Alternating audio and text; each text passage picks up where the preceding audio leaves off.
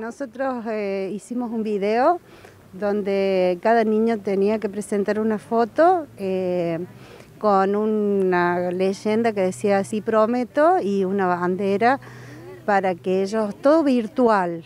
Ese video se editó y bueno, se va a repartir a los padres con la palabra de la directora de la institución.